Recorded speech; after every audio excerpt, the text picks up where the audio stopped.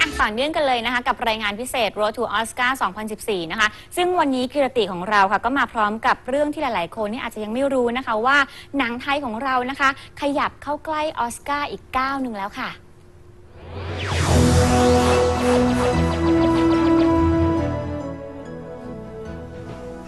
สวัสดีครับคุณผู้ชม และนี่ก็เป็นอีกปีนะครับที่หนังไทยไปไม่ถึงเวทีออสการ์ครับ เช่นเดียวกับ 85 ปีที่ผ่านมา แต่หลายคนอาจจะไม่ทราบนะครับว่าหนังที่เข้าชิงออสการ์ในครั้งนี้ ไม่ได้มีดีเฉพาะผลงานของคนอเมริกันเท่านั้น เพราะเบื้องหลังการปั้นผลงานสู่สายตาชาวโลกบางเรื่อง ก็เป็นฝีมือของคนไทยนี่แหละครับ The Grandmaster หนังฮ่องกงงานกำกับของหวงกาไวที่เล่าชีวประวัติของปรมาจารย์กังฟู ยิปมัน เป็นหนังฝั่งเอเชียอีกเรื่องครับ ที่มีลุ้นรางวัลออสการ์ครั้งที่ 86 ใน 2 สาขา คือกำกับภาพยอดเยี่ยม และออกแบบเครื่องแต่งกายยอดเยี่ยม ซึ่งนอกจากทีมงานฮ่องกงและชาวตะวันตกแล้วครับ ยังมีทีมงานชาวไทยร่วมเป็นส่วนหนึ่งของหนังเรื่องนี้ด้วย โดยเฉพาะเซียนด้านเทคนิคเสียง อู่ไตรเทพ ที่สั่งสมประสบการณ์การทำงานด้าน Sound Engineering มานานกว่า 20 ปีกับบริษัทกันตนา Sound Studio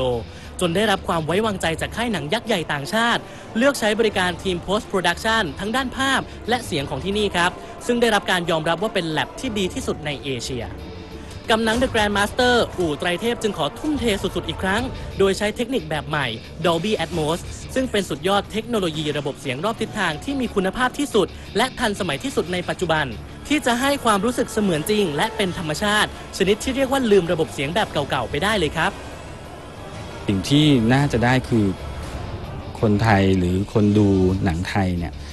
น่าจะช่วยกันฟังคุณภาพของเสียง และคุณภาพของภาพยนตร์มากขึ้น แล้วเมื่อคนดูเรื่องมากมากขึ้น คุณภาพของหนังที่เราผลิต มันก็ต้องสูงตามขึ้นไปครับซึ่งซึ่งก็เป็นข้อดีของพวกผมที่จะได้มีงานยากๆทำมากขึ้นทำงานง่ายๆ มันก็จะแบบมันก็ไม่ค่อยท้าทายเท่าไหร่ครับขณะที่การตัดต่อลำดับภาพฝีมือทีมงานคนไทยเราก็ละเอียดและประณีตกับทุกๆซีนทุกๆ ฉาก ไม่เสียชื่อที่ได้รับความไว้วางใจในระดับนานาชาติครับ ซึ่งแม้สุดท้ายจะไม่ได้มีชื่อเข้าชิงในสาขาด้านเสียง แต่อู่ไตรเทพก็ถือเป็นอีกหนึ่งความภาคภูมิใจของคนไทย ที่ได้มีส่วนร่วมกับผลงานที่มีลุ้นรางวัลระดับโลกครั้งนี้ครับ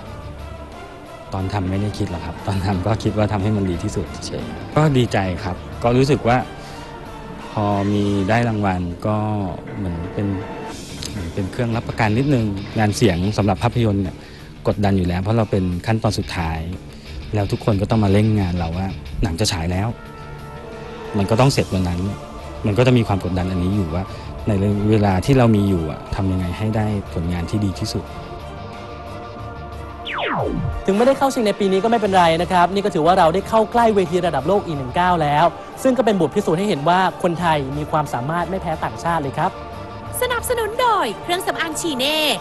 สบู่เบนเนต C&E ยาน้ำสมุนไพรผสมว่านชักบนลูกเบอร์ 777 ราหมอเสง ผลิตภัณฑ์เสริมอาหาร X Team